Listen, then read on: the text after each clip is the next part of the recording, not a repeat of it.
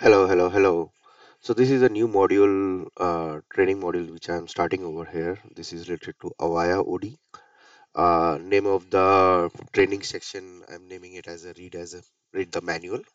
Why read the manual? Uh, because that's the simplest answer I can say is uh, each and every application have the manual or developer guide, right?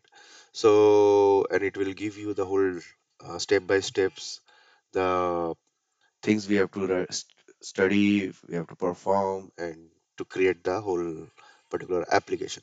So over here, uh, the we are using Avaya or Orchestration Designer Developer Guide. Okay, and I will not going to read through all of them, but uh, I will explain chapter wise and as per my understanding. Uh, it may be wrong, but uh, uh, hopefully we'll find some of the some of the things are useful. Okay. Um, the link for this PDF is also given in the comments uh, description section. Uh, let's move to the concept first. Okay. Uh, so concept wise, uh, this is the architecture diagram where the whole the call journey is mentioned. If you want to know more details about it, uh, there is another video about it. Uh, you can find the description in the link. Okay.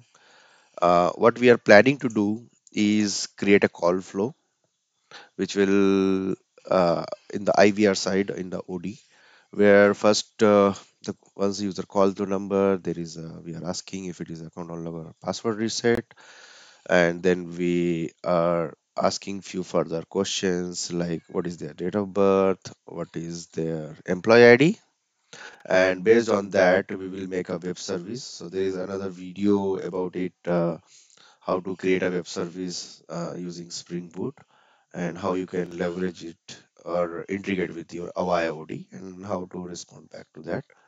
And if it is successful, then we will uh, show that how to unlock or account has been unlocked or how you can play back the password, temporary password which you have want to assist uh, the user with.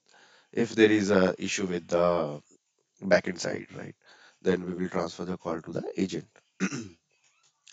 Okay, uh, so going back to read to the manual. Okay, uh, the first chapter does not give any of the details, so I've gone through the chapter.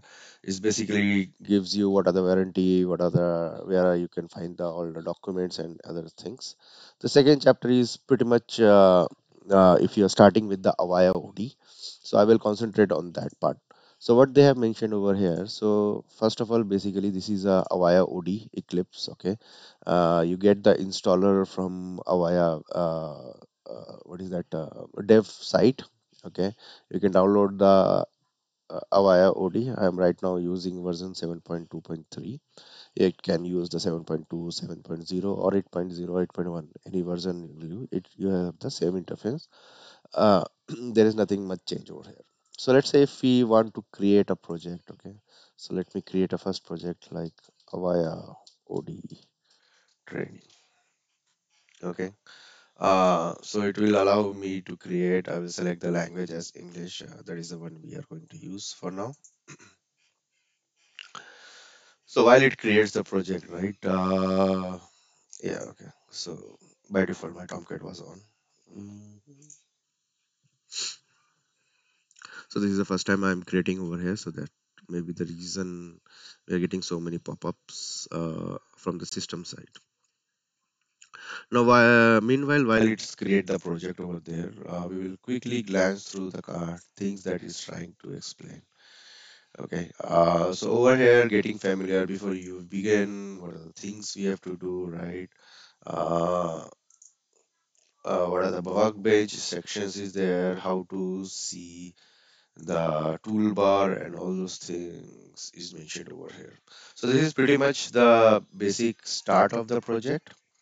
Uh, we'll wait for OD to start. Okay, it has started. Okay, so our project has started.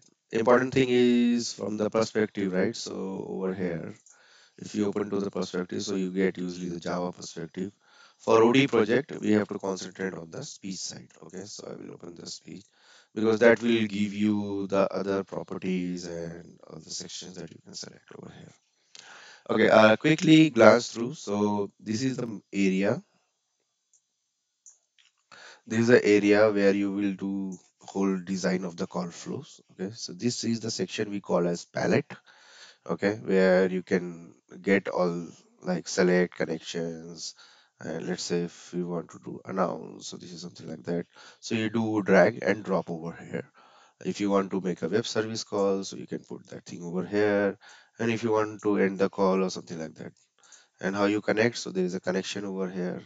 This way you can connect So one point connect here, another point connect here, another point connect here. Okay. So this is just a basic over here. What else we have over here is the properties. So this is another important thing.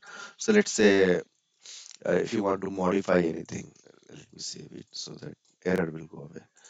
Um, so there is a this is a prompt section that you, and if you click over here in the properties, you can rename it. So let's say first prompt, something like that. Uh, what you else get is you get uh, for other components like uh, if I put the menu over here, right? So for that uh, we get four far more details, and if you go to the transfer section, right? Uh, so if I put let's say if you want to transfer a call to the uh, agent, right? So for that properties also we get far more details over here, and even for the bridge transfers, uh, bridge transfer if I put it over here, uh, you will get the details.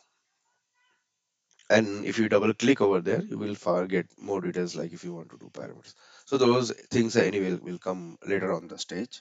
Let me quickly delete this.